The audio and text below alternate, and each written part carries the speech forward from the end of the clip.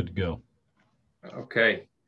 Uh, thank you, Mike. And today is the, this is the OPEB meeting for the town of Wethersfield. Uh, I believe we have the, are these quarterly, Mike? Yes. These meeting, OPEB, pension and firefighters. They are the first Monday of February, May, August, and November. Gotcha. Okay.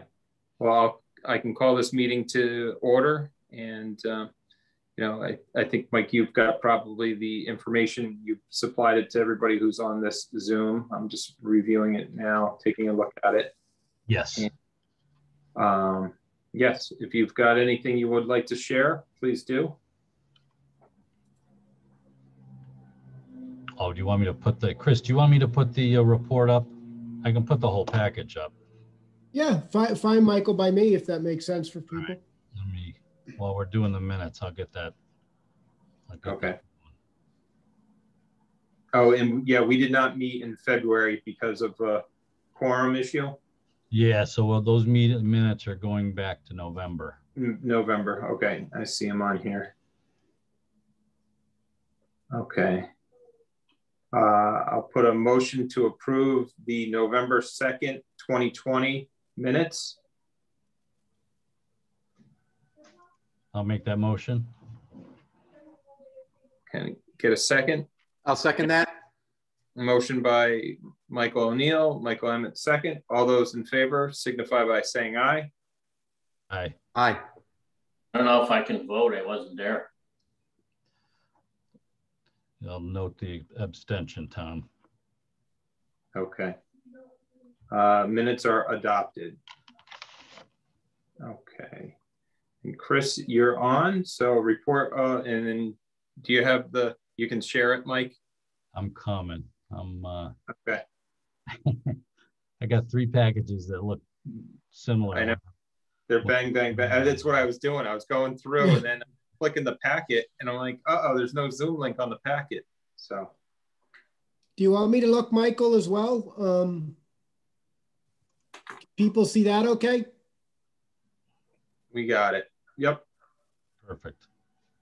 Okay. Well, uh, great. Good. Again, good afternoon, everyone. Good to see folks and, and hear from folks. Um, we'll be quick. I know we've we've got uh, uh, a short window of time here, and I'll just catch up on the on the highlights. We'll use select pages from what is admittedly a, a, a pretty detailed uh, uh, a packet of information. Just very quickly, we had mentioned this to, to Michael and Gary uh, a short while back. We did rebrand our firm, uh, just uh, uh, kind of aligned with our aspirations to, to begin to uh, grow and expand thoughtfully, but, but on a national basis. So, um, what you had known for a long period of time as Fiduciary Investment Advisors had become DiMeo Schneider for a short period. We are now Fiducient Advisors. Um, absolutely no change to the team, to the way that the firm is run, the type of advice we bring, uh, the individuals working on your account, all of that is uh, absolutely identical. Um, again, strictly a rebranding effort. And um, of course, and importantly, thank you again for the, the trust and confidence that you place in us. We work hard to earn it every day. Um, I will hit uh, only the highlights of what's going on. I'm on page four here. You'll see a couple of themes as the new year began. I'd step back and just remind the committee quickly it's been certainly a year in the capital markets like no other, as we all know. I mean, we're hard pressed to think when we sat here a year ago, kind of at the onset of the pandemic and, and the challenges that it presented, you know, certainly societal, but also just from an economic perspective, that we'd be sitting here and seeing the type of numbers that we've had. And you'll see momentarily they have been uh, very robust. Um, and the trust has done very, very well. Uh, and it is a byproduct, at least on the front end of the recovery. You remember back about a year ago, all of the stimulus, both monetary and fiscal, that were uh, put into the system. Uh, and clearly, investors drew some comfort from that. And more recently, it's kind of been joined by, you know, obviously gains on the distribution front. So those two things have been kind of working as tailwinds and pretty effectively so um, to keep investors, you know, confident and, and, and markets functioning pretty nicely. Um, the American Rescue Plan Act, you see the details in the upper right-hand corner of the page. The most recent stimulus out of Washington, a big component of that portion of that is focused on the individual, on consumers, as you all well know. Um, that's important, of course, right? Because consumers represent about 70% of economic output here in the US. So to the extent there's support being lent to that segment of the economy. It's it's it's it's helpful. Um, a little bit higher ticking inflation and interest rates you see in the lower left hand corner of the page here. Um, right as the economy continues to transition, hopefully into that next regime, that next cycle of growth in the back half of this year and into 2022 certainly is forecasted, um, things like inflation and interest rates might move a touch higher, and indeed they have, but we don't view them as problematic um, uh, right now. Um, and then the other thing, it's got more nuanced point, but in the lower right-hand corner of the page there, you'll just see across global equity markets, um, an interesting trend back again about a year ago when the equity markets began to recover, a, a, lot of that recovery was centered on the so-called pandemic resistant names. The big tech com companies, you may remember, did particularly well. Um, but the rest of the markets kind of struggled along a bit sideways more recently, we have seen a, a pretty noteworthy um, increased breadth, if you will, in terms of returns and things like small companies and value stocks versus growth stocks have all kind of joined the party, if you will. And that's encouraging to us because oftentimes historically, uh, that type of broadening return pattern has been associated with kind of the next uh, uh, uptick, excuse me, in, in economic activity. So if that's foreshadowing um, plays out again. Uh, hopefully, uh, uh, again, we're in the kind of the front stages of a, of, of a new economic cycle. Uh, I'm going to skip over in the interest of time a lot of this other detail and, um, and encourage the committee if you're inclined to look at it at, uh, on your own uh, time. But we've, I think, hit a lot of the points. Here on this page, page six, you see in summary fashion for various time frames performance across the markets globally. So top third of the page, as you note, there's fixed income. Middle section of the page are the equity markets, and then some of the alternative markets down at the bottom. And really, the most striking thing to us on this page, and you see here in the one year numbers for equity markets globally, the type of returns I mentioned earlier. 56% for example for the s&p and really if you work your way all the way down through most of the major categories of investment globally some pretty hefty returns um, and again that has bled through in terms of performance of the trust, as we'll see in a minute. The fixed income markets, the returns have been positive, but they have been uh, recently negative with higher interest rates. But over the last year, generally positive, but you do see there a much, much more modest clip um, for fixed income returns versus, versus what the equity markets have done. So with that, I think uh, I am going to skip ahead a lot of this other detail here and cut right to the chase with the portfolio and stop me along the way or certainly redirect me. I'll pause momentarily and, and get your reaction. You see here on, on page uh, 11 of the, um, of the deck, just the allocation profile for the trust assets at the end of March. So you see close to $27 million of invested assets um, in place and kind of working on, on the trust behalf. Um, you see kind of a, a cross here uh, the allocation uh, mix. Uh, you'll note in the far right a little bit of an underweight in fixed income with overweights in equity, right? As I just mentioned a moment ago, equity markets have pretty readily outpaced fixed income. We did take action consistent with the policy statement a few weeks back, working with Michael, um, and have reallocated the portfolio back closer to those target weights. So we have addressed that. Um, and I think otherwise the portfolio is in pretty good working order. Um, it continues, as you know, to lean into equities, right? 60, 65% if you, uh, 60% if you will, in, in, in equity securities by target.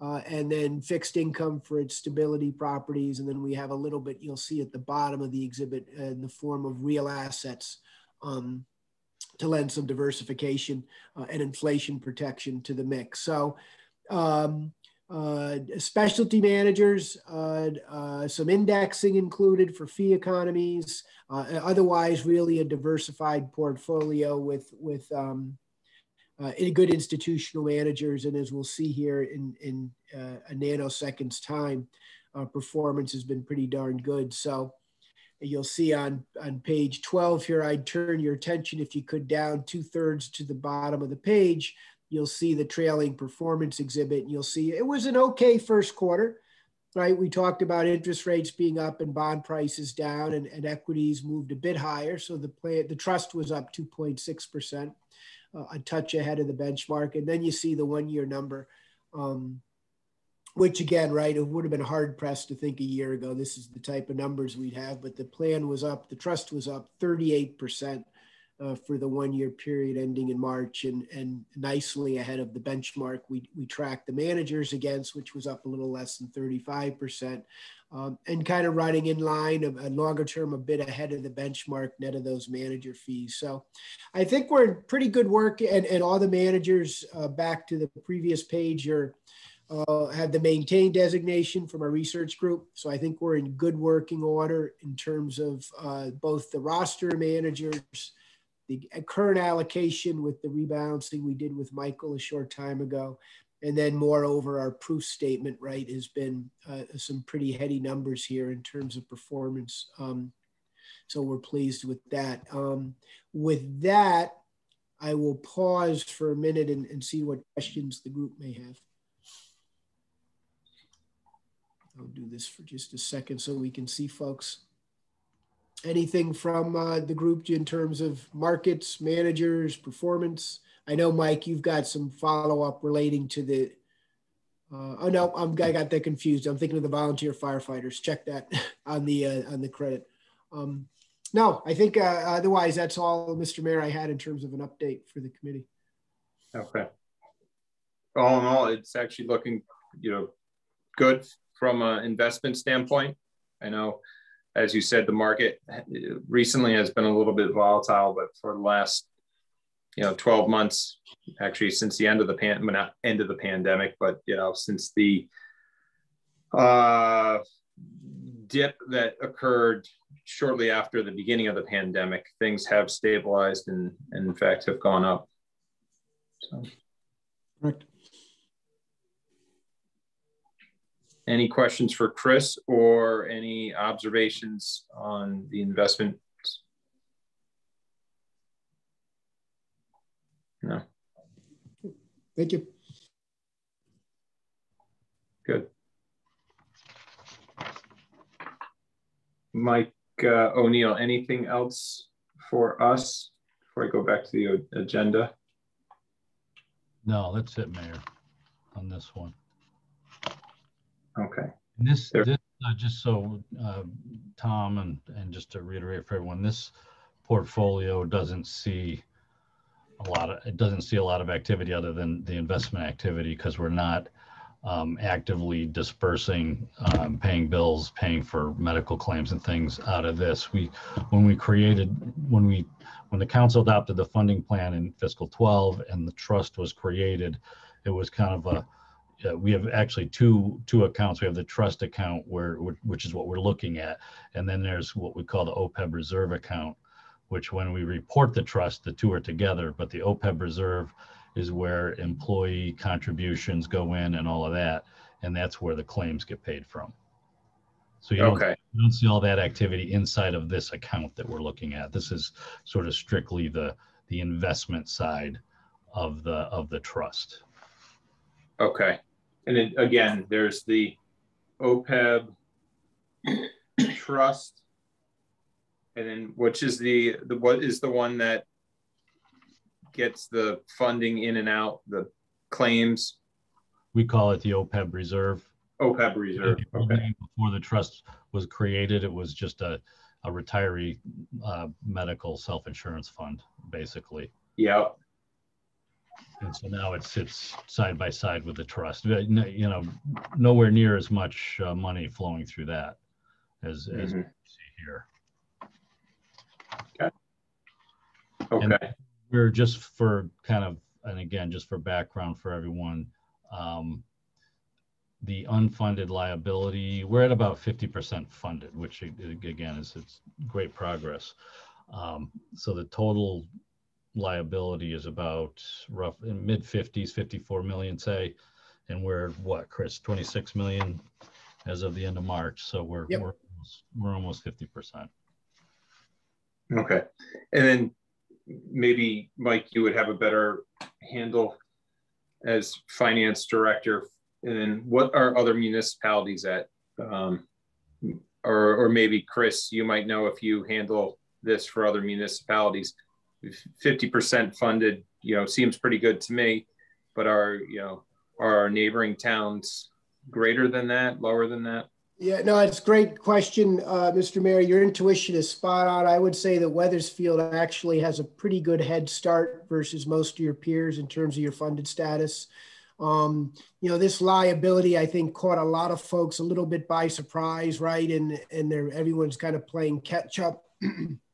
the dynamics of the, um, excuse me, the um, the accounting is such, Michael will know this better than I, but just the formation of the trust gives you some beneficial ways to account for and to discount the liability. So a lot of people have started trusts, put very little money in to get those favorable accounting treatments, but really from a funded status perspective or, or you know, just getting started. So at 50%, um, you're at a pretty healthy clip and, and I think compare pretty favorably to most of your peer cities and towns around the state.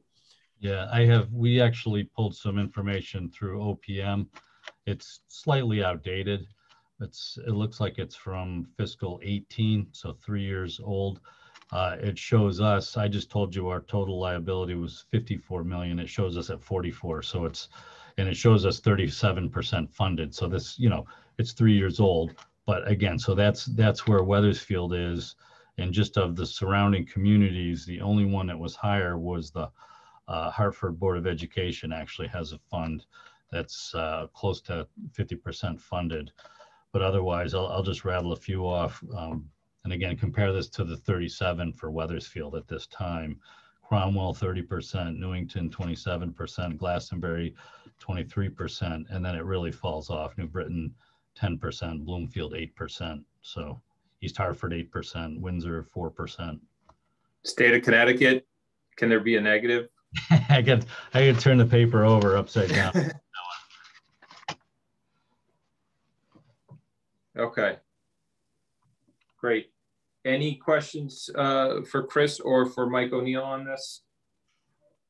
From either Tom or uh, it, it's difficult. You, you can't just call us say Mike or Michael. I'm looking at all three of us. Mr. Emmett, Mr. O'Neill, Mr. Rell. Nothing else. You guys are good. I'm good. Thank you. No other business.